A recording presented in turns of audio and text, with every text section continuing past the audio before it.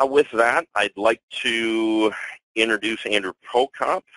Uh, Andrew is a Director of Emerging Technologies here at ASI and has really been involved in the world of communications since the early 1980s. Um, Andrew has a, a, number of, actually five to be exact, U.S. patents uh, around the development in uh, SIP technologies.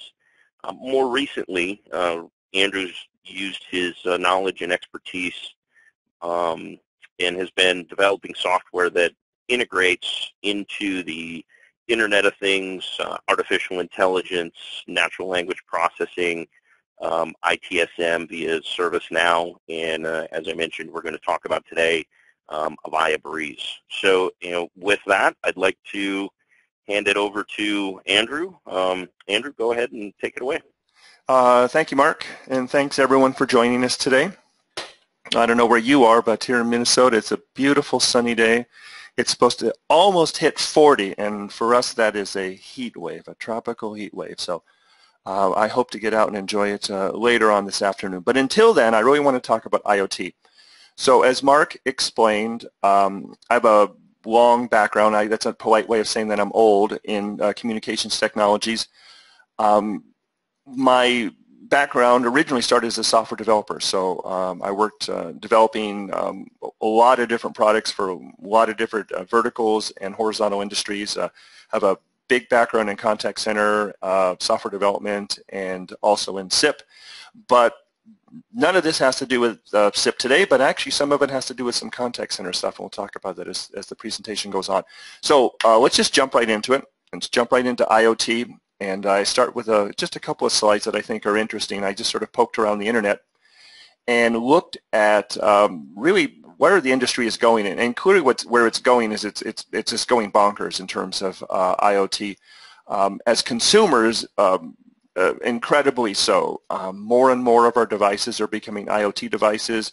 We're controlling our houses, we're controlling our lights, we're controlling our garage doors, um, I have a coworker who has an IoT device on her dog. Uh, Elaine, you know what I'm talking about. Her dog runs around her farm, and she knows exactly where her dog is and where her dog has been. So uh, as consumers, we've adopted this technology wholeheartedly, and, and the same thing is happening in industry as well. So more and more industries are adopting the technology. Uh, sensors are just appearing everywhere uh, in the business in the business cycle. Um, and then the, the dollars spent uh, obviously are, are going astronomical as, as well. And so we see in the consumer world, um, Gartner's predicting something like a, a tripling of the money from uh, 2016 to 2020.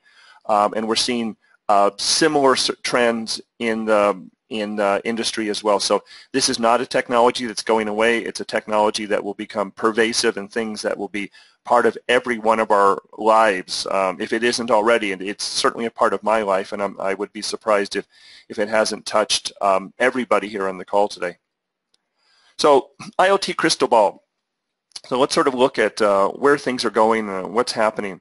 So um, sort of mimicking what I just said before with those slides, by 2020 more than half of major new business processes and systems will incorporate some elements of the Internet of Things. And this comes from Gartner. So by 2020, really, I mean, everybody that you're dealing with um, is looking at this, and half of the major business processes and systems will use it.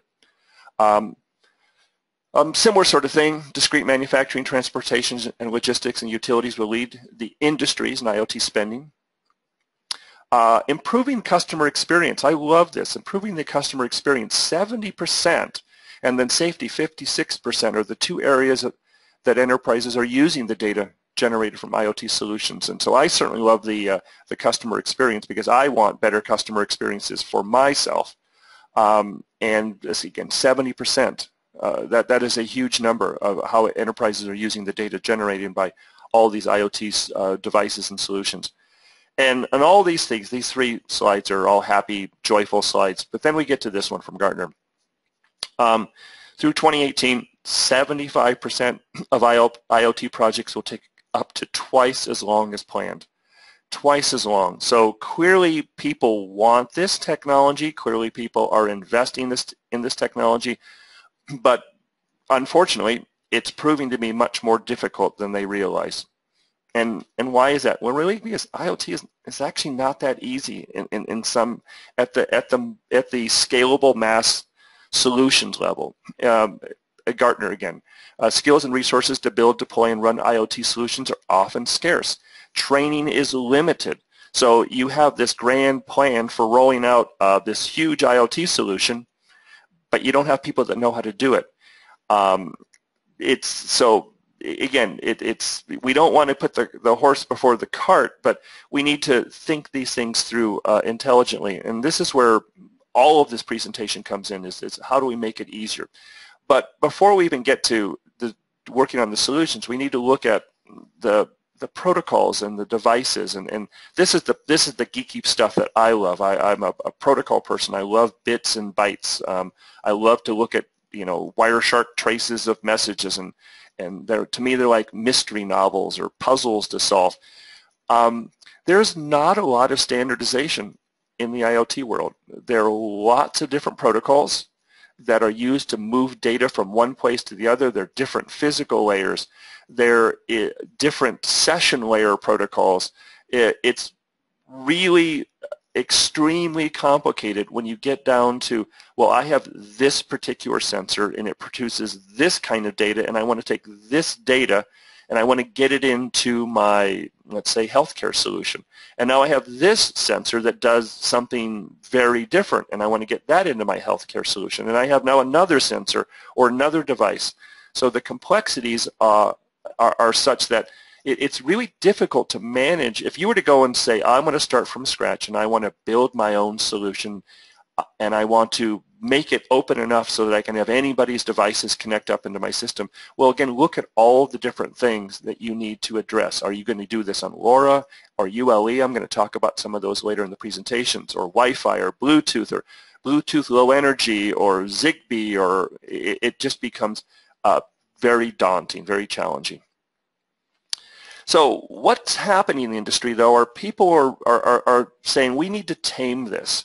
We need to say, if I have all these sensors on the edge, and I have all these all this information that these sensors are producing, I want to normalize that information, meaning what I want to do is I want to have the information come into some process that allows me to now treat every sensor um, on the far end is almost as exactly the same. So if I get a temperature reading from sensor A, I don't have to worry about that sensor B's temperature reading in a different format or temperature for sensor C in a different format. So all of the data gets normalized so that I see everything in the same way. So we what we do is we have the idea of sensors connecting to the gateways. Now the gateways can support all of the different protocols that these sensors might do. Are they ULE? Are they uh, you know, BLE, Bluetooth Low Energy? Are they LoRa? How do they connect up? Well, you as the user, as the solution provider, you don't care because those go into a gateway. We normalize all of the information, and now we send this up into a data platform, and now we can start to build applications on the data platform. And as a kind of a geeky guy, I like to break things down even further into sort of these boxes. So like on the edge, we have sensors and edge devices, and they're multi-protocol, so they all speak their own different language. Now we have gateways that collect this information. Now they need to be multi-operating system, multi-vendor. Um, different gateways are going to have different requirements because of the sensors. Uh, how many gateways or how many sensors will connect to a single gateway, what kinds of sensors, what's the distance between the gateways and the sensors. Well, you work all that out um, in your design in your design uh, portion. But again, we're, we're, we're, we're dealing now with the solution. So we want to get to solutions. So we work that out. And then we bring this all into a data platform. And the data platform can run on lots of different things. It could be a private cloud. It could be a public cloud. We can use Amazon Web Services. We can use uh, IBM. We can, you know, do whatever we want to do in the data platform. But now, when we start to look at solutions, we want to then have all this data that's been with the different protocols and the, the, you know different kinds of data. We normalize it. We bring the data platform, and now we want to expose that to the outside world as the solution developers to create these incredible, you know, healthcare solutions or transportation solutions or logistics solutions, and and do what we did back, you know, what the slide said earlier on is to have that uh, improvement in customer service and safety and things like that. So now we take these web services, and this is where the presentation really begins as we run these into a workflow engine. And the workflow engine that we're going to talk about today is Breeze, Avaya Breeze. So if you've seen Breeze, well, you're actually going to see Breeze in just a little bit. Um, it makes all of the complexities on the left side of this slide very easy because you can get access to lots of complicated information in a visual drag and drop manner. So you don't worry about the fact that, again, I have 12 different types of sensors that are giving me information in 12 different ways and now each one of these things is multiplied across the country, across the world. So now I have hundreds of thousands of sensors. Well, coming into the data platform, and now I bring those again into Breeze, and it becomes much simpler because I'm dealing with, again, a, a simple drag and drop of visual interface, and you'll see that in just a moment. So again, so that just a moment is right now. So if you haven't seen the Breeze Engagement Designer, again, a drag and drop tool uh, developed by Avaya, so it has all sorts of really cool things in it. One of them is uh, telephony communication. So you have all sorts of things to manage telephone calls, you know, good old-fashioned Ma Bell type telephone calls we have voice and we have DTMF and we have speech and things like that. So you have all these different tools to manage those telephony things. We also have some of the more modern ways to communicate, sending emails, sending text messages, and things like that. So um, me, I uh, I certainly use the phone, but I send far more emails than I call people, and I send more text messages on my cell phone than I call somebody on my cell phone. Um, so let's take advantage of those things as well and build those into, again, into the workflows. Breeze provides those things. We go a little bit further. Now we want to integrate with databases uh, because I have a database with information that I want to bring into these workflows. I want to talk to other cloud services, and so I have these RESTful Web Services interfaces to talk to other cloud services. And now I want to do things like, well, I want to bring this into Contact Center. I told you I was going to talk a little bit about Contact Center. So I can do attribute routing. So when I get the right kind of information, I want to find the right kind of agent to deal with that information. And so we have all the work assignment things to bring that into things like Oceana and, and, you know, and whatnot, bring that into your Contact Center.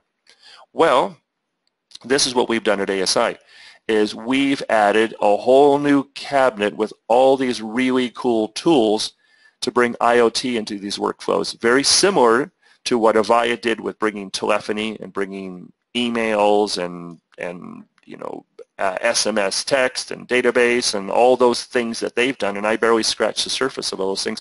We now have IoT.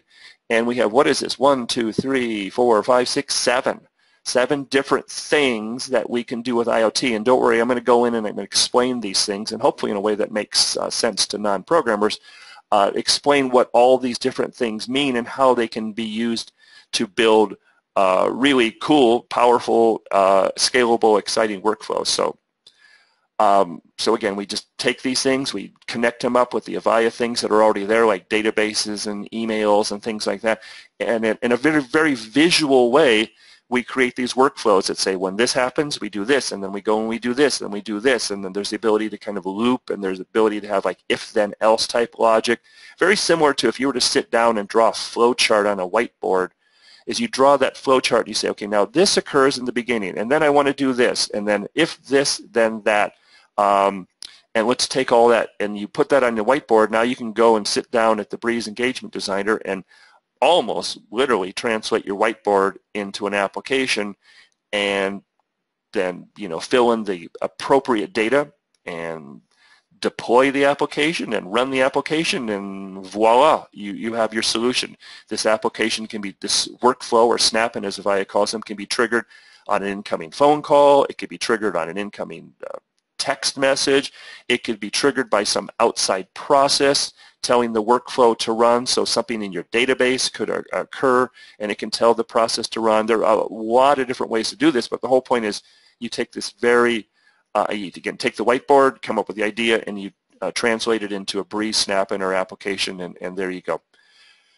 So IoT, um, I'm going to talk about all of the different components that we have developed, um, and I'm not going to get too geeky, so don't get too worried, but I'm going to give you enough so that you understand what these things do, and then I'm going to look at them uh, from a, a, couple of different a couple of different directions. Meaning, how do we invoke the technology and go out and talk to sensors? Uh, and then perhaps even more importantly, how do we get the sensors to talk to us so that when something happens that we are informed that that thing has happened and now we can take action and that action can come in any number of different forms because again the Breeze platform is so flexible and so extendable. So I'm going to take these one by one. And I don't believe this, actually this might be the order I take them. So look at me. So I actually did uh, something in a linear fashion. So we're going to start with, I think, which is one of the more, uh, kind of the, the most interesting, interesting, one of the most useful tasks. And that is something called IoT Snapshot. And that, what it does is what the name implies is we go out and take a snapshot of the current state of a sensor. So, and you can have, again, lots and lots and lots of sensors, and we can deal with these sensors in many different ways, but I'm going to keep this very simple for now. I'm going to sort of deal with one sensor. So I want to look at one particular sensor. I want to get all the information from the sensor.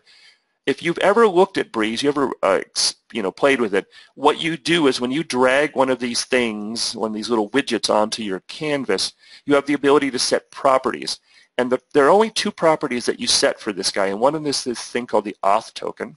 Actually go to the next slide.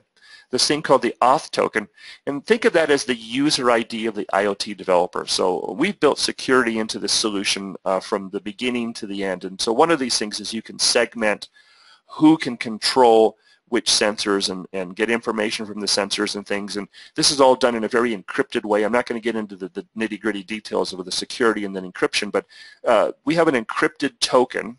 Again, think of it almost as a combination of a user ID slash password of the IoT developer or the solution developer, if that makes more sense to you.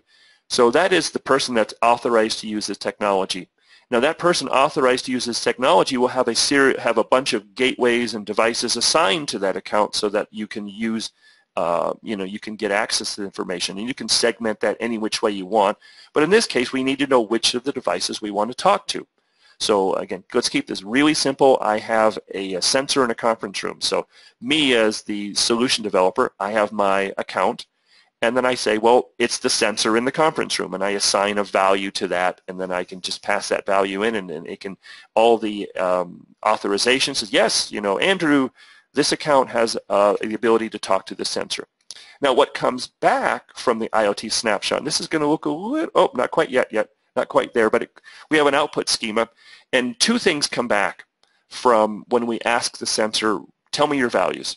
One of them is this result, a success or failure, um, did the operation work? Did it not work? And there's more detail you can drill down into, but at a high level, it's success or failure. And then this thing called the values, which is a JSON encoded string that's, uh, if you're familiar with JSON, it's really key value, key value, key value. So you can say, you know, first name Andrew, last name Prokop, um, city, St. Paul, state, Minnesota. So key value, key value, key value. Well, this is how the IoT work is done as well. So you have all this telemetry information, and the sensors can have all sorts of things. One particular multifunctional sensor might have temperature, humidity, light, UV value. Maybe it has heart rate. It's a medical sensor. And then it has blood pressure. It has any number of different things. So what it is is you'll get all of that information back in this key value. You know, temperature, 38.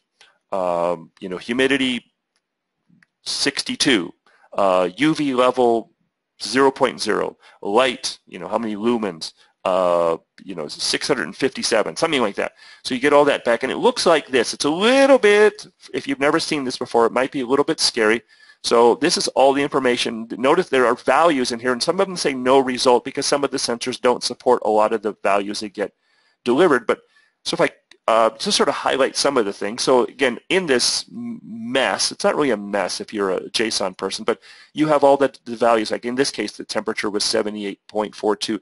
The orientation, alpha, beta, gamma, that's, you know, you twist a device around, you turn it around, you know, what's its um, orientation. Here's the humidity of 37.23, the UV level, there's a timestamp, there's accelerometer. If you're familiar with accelerometer, basically movement in the X, Y, and Z axis and on and on. And I pulled them out again to make them even easier to look at. So key value, key value, humidity, 37.23, LED status, if there's an LED on this device. In this one, in this case, it's turned off, so the LED is not lit. Uh, the accelerometer X, uh, the temperature. So that information can now get fed into a workflow, and so the workflow may be you know, you're monitoring the temperature of something.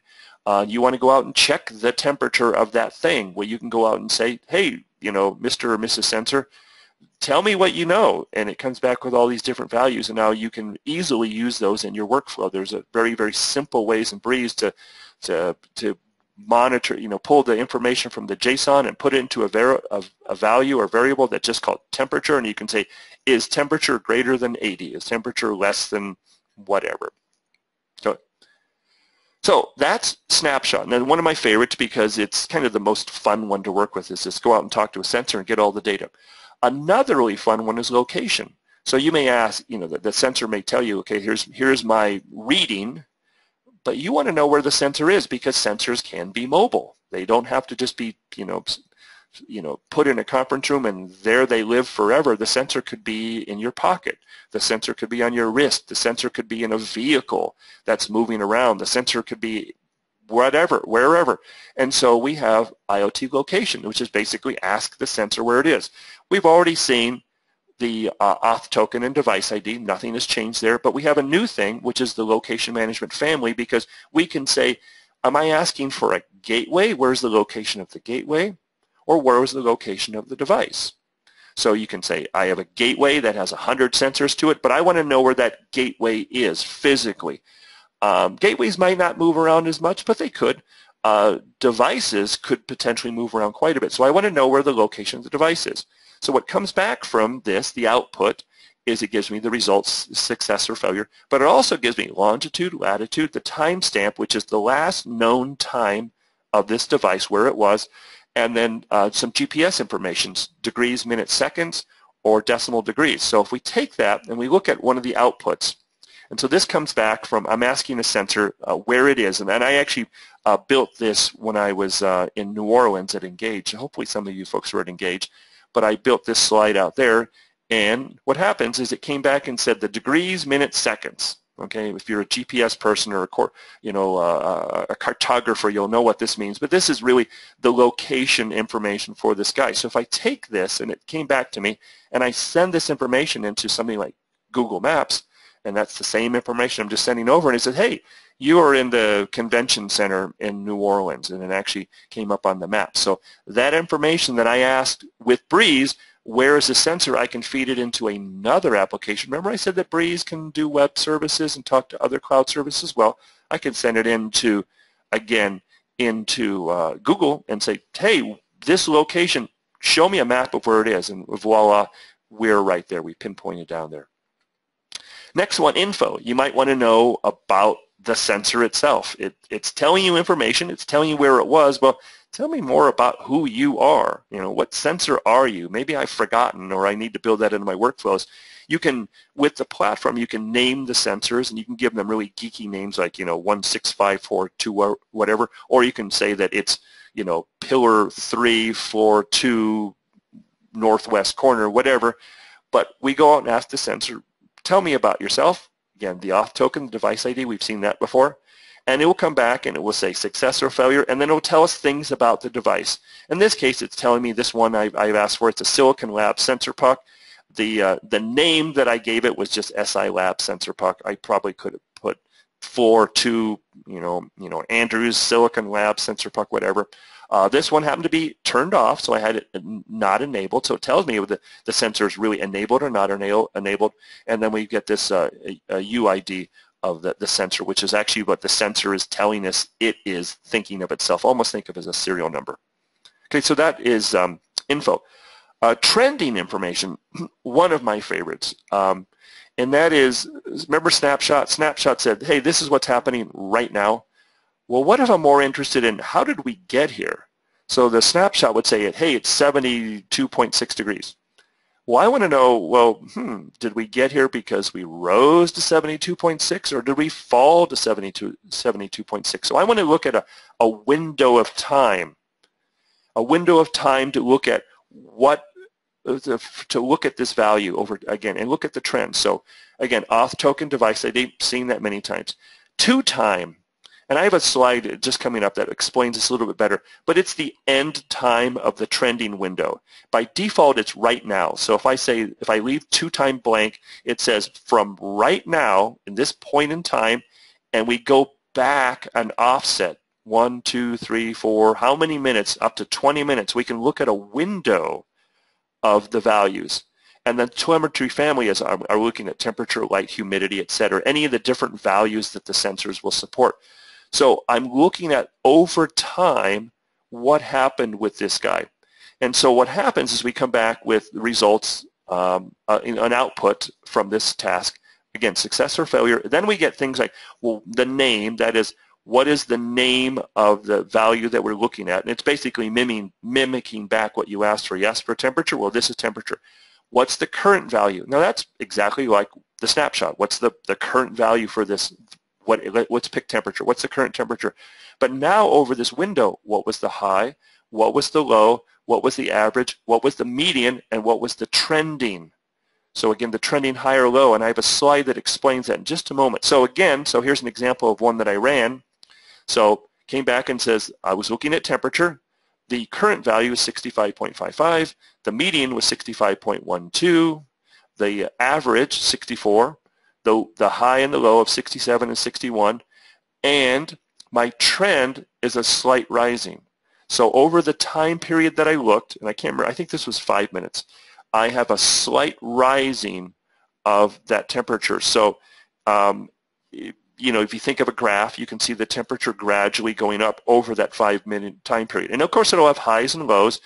So that, like the stock market, you know, it could, you know, go up and down, up and down, but it's moving in a particular direction.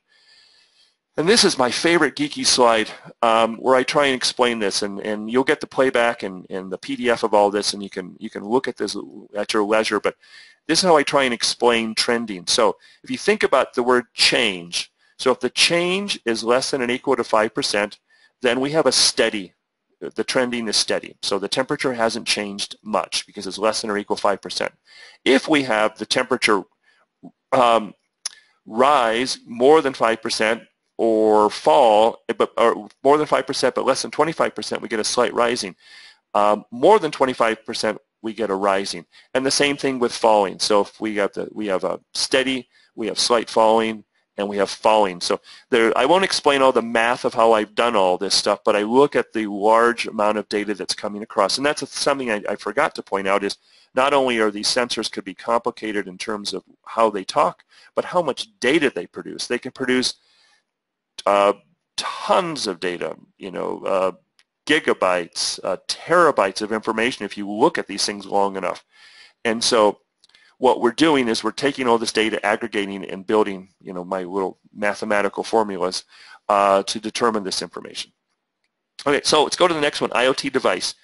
Um, IoT device is the ability to talk to gateways. The, it, it, it has to do with how the gateways communicate with the device. At this point in time, it's really to turn gateways, the relationship between a gateway and a sensor on or off. So we've seen auth token, we've seen device ID, seen those already. Gateway, that's a little bit different. So here's the the gateway that we're talking to. So it has its own name, its own you know hardware ID. So we're saying this device on this gateway, I want you to start monitoring it or I want you to stop monitoring it. And this could be useful if you have uh, backup situations where you have multiple sensors in the same area, but you don't want to collect the data for the multiple sensors until there's a reason, and maybe because it's fault tolerance, you want to have some sort of resiliency failover plan, or maybe it's because when I get into certain situations, I want to turn on more sensors because I want to zero in on what might be happening. So I have a sensor in a room, and it's always reporting data. When I start to come to an anomaly con, uh, condition, we set some criteria, now I want to say, oh, I need to turn on three more sensors in that room because I need to be, refine this a little bit more. Okay, so start or stop. Output, really this one's very simple, success or failure. Either I started the, the gateway talking to the device or I couldn't. Uh, IoT state, this is, oh, they're all cool, aren't they? But this is uh, an interesting one, kind of a strange name, but what it allows you to do is set the state of a device. And the state, think of it as really a command. So auth token, device ID, seen this um, state is a command sent down to the device, and it's JSON encoded because I love JSON. Um, in this case, this, this little geekiness, and that's all documented in the, the reference guides and all that, tells me to turn this LED on or this LED number one on or LED number one off, so true or false. But I can have also different different kinds of sensors that have other kinds of things, like maybe a camera, tell it to go into high def mode. So again, you may be collecting data for a particular room or particular part of a building, and then I have some condition occur, and I don't want to always be collecting information in high def, but now I need to drill myself down, so I would go and say, hey, camera, go into high def mode. So this is sending a command to the to the device. The, it's the results back are either success or failure. Uh, here's a very, very um, simple example. So I have a Thunderboard React. Uh, uh, um, it's a board that I like to play with. It's a really cool developer board because it has the kitchen sink in terms of um, uh, capabilities in terms of what I want to look at. Does orientation, does accelerometer, it does uh, temperature, humidity, light, and UV value, and I can get my positioning information. So uh, that sensor, see those little LEDs? They're right in the middle, LED, uh, I can't even read it. It's like one or two, but it's A or B or something like that. So there are two LEDs on this board uh, right in the middle. Um, I use the uh, state command to, this is, this is really low budget, to turn those lights on, to turn the LEDs on. So I can say turn the LEDs on, turn the LED off. Now you might think, well, that's kind of silly, but imagine that um, it was more of your writing to a display, or you want to alarm, set an alarm you can say, you know, when this red light goes on, think of like gas leaks, and you have the lights that are sitting there, and, and um, you have the red, the big red, the big red light go on. So I want to say red light go on, red light go off, those sorts of things. Or again, camera go into high def mode, go out of high def mode. So this really simple example is I just showed you how I was turning the blue, the blue and the green LEDs on, and then I can turn them off again. So I'm going to change um, directions just ever so slightly. I'm going to get back to Breeze, but I'm going to talk about actions because this is really important. This is a good place to make a little bit of a change here. Okay. In the platform, so we go back into the platform because the platform is the thing that really talks to the sensors. The platform is the thing that has the gateways, that does all the data collection, that um, allows you to mine the data because it puts all these web services on top of it. You don't have to worry about it because Andrew worried about it and he did all that work and built that, built that into these drag and drop tasks. But there are times when you need to get a little closer to the sensor. And one of those times is you want to create rules or asynchronous actions. And one of those could be, again, something like if the temperature rises or the light level falls or the UV level or the pressure or the accelerometer value or if this device tips on its side because I'm looking at orientation, uh, I want to know about that. So what you can do is you can create asynchronous actions uh, on those devices with different criteria. So I can say when this thing occurs, do something. Well, one of those things is it can actually send web services messages. Well, Breeze is a web service, well, is a web server, uh, maybe you didn't know that, but it is, and it can accept commands from the outside world. So what happens is I can have one of my devices tell Breeze to do something um, to fire off a workflow. So again, in this example, I'm saying send a post, which is a REST a web services command, to something, and I haven't filled in all the blanks, but uh, to this URL, which could be my Breeze server, and I can say when the humidity is greater than 70, I want you to send this command. Now the Breeze server gets it. The Breeze server, with some magic, uh, the way that we've built the call, says, well, which workflow should I invoke? Which data should I pass to that workflow? And so then it triggers a workflow. And how does this triggering occur? Because Breeze has these things called events that allow you to build events as to why a workflow gets fired. In this case, I build one, which is my IoT event, and I'm saying, um, I'm saying when this thing occurs, which happens to be like my humidity or my light or whatever, I want you to send a value. I want you to actually, I want you to invoke a workflow on a Breeze server. In this case, I built this one for temperature, and I want to send something about the temperature down. So I can say from the platform standpoint, send this request down to the Breeze server, invoke this, this um, workflow, I can pass any data that I want to send. And that's the beauty of this is any data. I'm just sending one value. I send this down to my Breeze server. There's my max temp in this point. And what happens is inside of Breeze, when the workflow starts, there's the max temp that was just generated in the other platform. So I've passed data from one platform to another platform. I now trigger my workflow which is in what's called the start task. All workflows begin with a start task. Now I can do whatever I want to do with that workflow, which might be make phone calls, send text messages, send emails, go out and turn other sensors on. Remember I talked about let's go in and, and maybe send, get more discrete, turn more sensors on, put a camera in high def, whatever it is that we want to do. Send that, turn that red light on, turn that red light off. So again, once I've triggered from the platform, now I go into the workflow and now I get all the really cool fun stuff uh, that I can do with Breeze. So this actually brings me to that seventh task. I didn't do that one in the previous section because it makes more sense now, and that is IoT action. And IoT action goes back and it has an interface back into those actions that we just created back here in the platform. And specifically what I'm doing is I'm saying, well, which action do I want to enable or disable? So for instance, I have an action that says when the temperature goes above 70, I want you to fire off this workflow. Well, what you don't want to have happen is while you are managing this problem, you don't want the workflow to get invoked again. And then maybe a minute later to get invoked again. And then a minute later to get invoked again. It's like, no, hey, dude, I'm dealing with this. So you have the ability to say, okay, I've captured this event. I'm processing it, I will go back and turn off the action.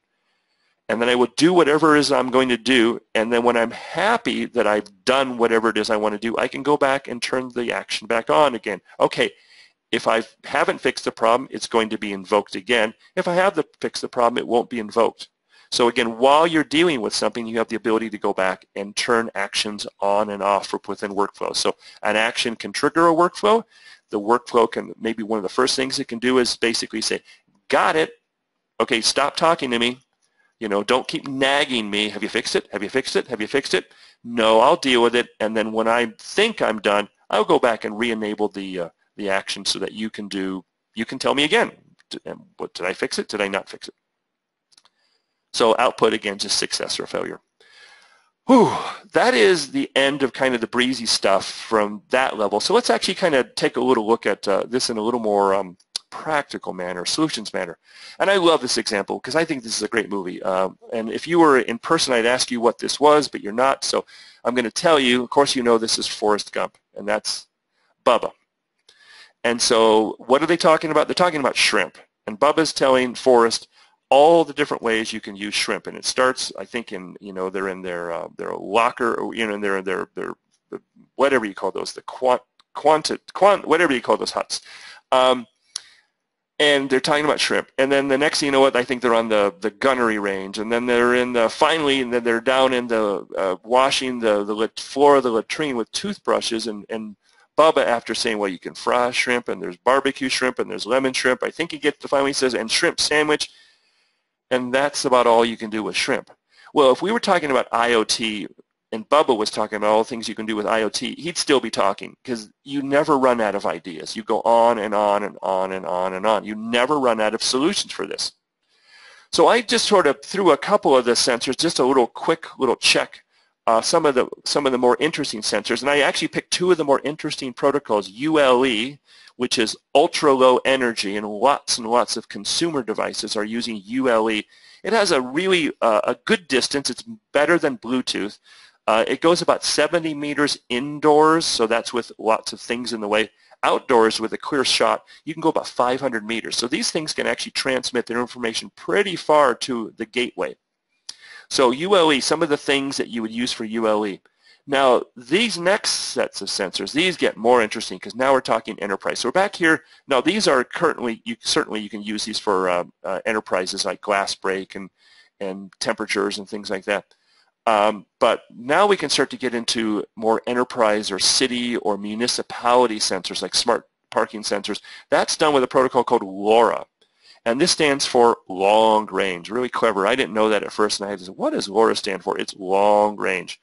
Um, these sensors, uh, well, LoRa is a really low power, ULE as well, low power consum consumption uh, uh, protocol. So you can build devices potentially that can run for years, like 10 years on two uh, AAA batteries. Um, so, I mean, one of the problems with uh, sensors and, and these different protocols and things are the, the more distance you get uh, it requires bigger batteries, bigger footprint, uh, they're more expensive. So they're coming up with really low-cost ways of getting information from sensors to gateways. And then once we get to the gateway, now the gateway can be wireless, can be, you know, whatever, LTE, and get that up into the um, into the cloud. The gateways can be big. The gateways can be powered by you know big power sources. The sensors you often want small and cheap and low power. And so LoRa is a really cool protocol for that. So I just sort of snapshot of some of the stuff that's happening with LoRa. But once you do that, now you can start to build all these cool solutions. Now we get into really uh, solutions building. So IoT and healthcare. A pill bottle that has a sensor in it. If the pills are not dispensed, and you know they're not dispensed by really unscrewing the cap and you know shake whatever. The sensor has ability to say that the cap has come off, so I'm going to assume that the pill has been dispensed. Think of an EpiPen as well. You know, the EpiPen has come out of its container. I can then generate an event that says that EpiPen has been opened. If any of your, if you have kids that have EpiPens, you want to know that your kids open an EpiPen. You want to know if your kid has used an EpiPen. So you want this information to transmit uh, through some system that's fairly long distance, but you don't want to put too much money into this thing. You don't want to, your kid don't want to carry a battery pack. So again, LoRa is really kind of cool for that because again, LoRa can actually go up to about 10 miles. Um, and they're getting better and better with that. So you have these gateways in schools, and if a kid opens their EpiPen at school, you're informed of it. So anyway, you build these workflows when the conditions occur in healthcare that monitor, that you have different teams that get fired up to do whatever they're going to do. A hospitality, you check into a room and you have an identity and there are different devices in the room and, and, and when Andrew checks into the, you know, whatever hotel, uh, everybody knows that Andrew likes his rooms colder than most people do. So it can automatically adjust the temperatures to Andrew's setting, so I'm not always, you know, in the middle of the night, say, oh, it's too hot, and I'm trying to find the thermostat and adjust the thermostat. It's doing it uh, the way that I want uh, the different sensors, or the lights, and the whatever, you know, um, those sorts of things in hospitality. Uh, food service, and food service is absolutely huge. And going way back to that uh, slide early on where I talked about safety as one of the primary concerns. So safety, if I have uh, uh, those soft serve yogurt machines and I want to know if there's bacteria forming, well, bacteria is really difficult to detect. You need to have petri dishes and lab environments, but it's easy to detect the conditions in which bacteria grow. Uh, really, it's temperature and humidity so moisture level. So if we can start to track those sorts of things, then we can create workflows with you know Breeze that raise an event when something has occurred, gone out of uh, the, the norm, we can then use that to uh, dispatch a technician, shut the machine down, put that red light on it that says out of order, uh, any number of different things. So there's just a ton of stuff. Uh, smart beer kegs, uh, smart fryers, smart refrigerators, smart whatever. Um, and then running this back into um, into some workflows because you know in the consumer world you're basically you've got one person with one device. In the uh, enterprise world you can have 10,000 devices um, and so how do we manage that? Well that's how we manage that with workflows and something like Breeze. And then smart cities, and I love this one here too. Uh, street lamps that can detect gunshots and gas leaks.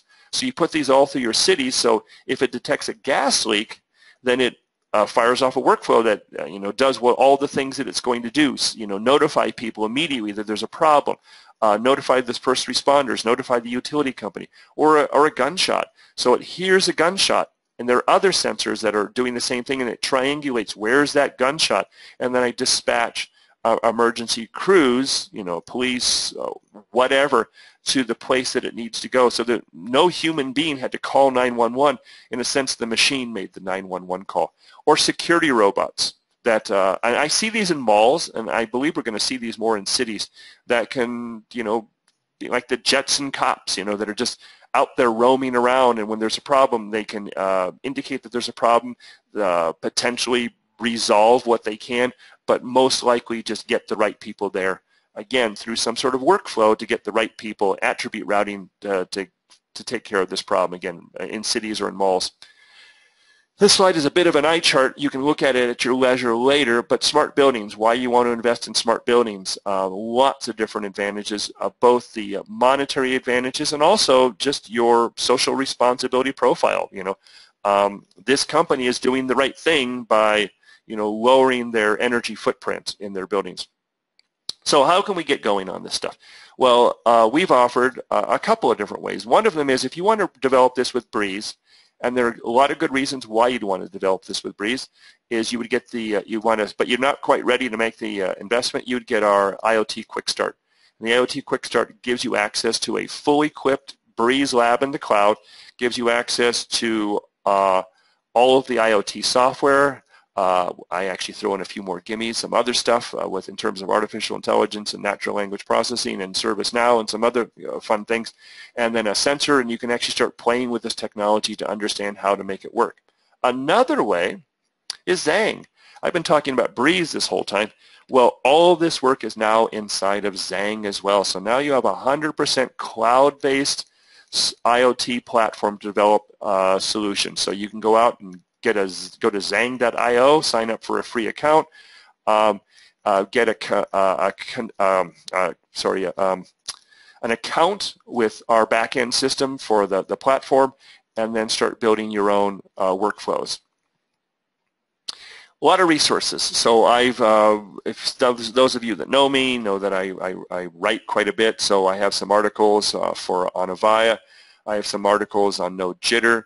Uh, there's some videos out there as well. Uh, one of my favorites is one that I a video that I took of uh, what the Avaya team is doing with uh, some of the, the with with the IoT IoT work that I'm doing. If you're out at Engage, and this is also going to be an Enterprise Connect, but they built a Lego smart city, which is really cool. And I just did a, a, a low budget video of uh, Nathan Studi uh, doing showing the demos. It's gotten a whole lot better actually since the video, and um, I've been working with them on some other enhancements as well. So uh, things like train derailments, power outages, uh, smart parking, so and things like that. And they've integrated with uh, team stuff and text messaging and um, uh, oh, it's sort of a notification system. So there's some really interesting resources out there uh, for you.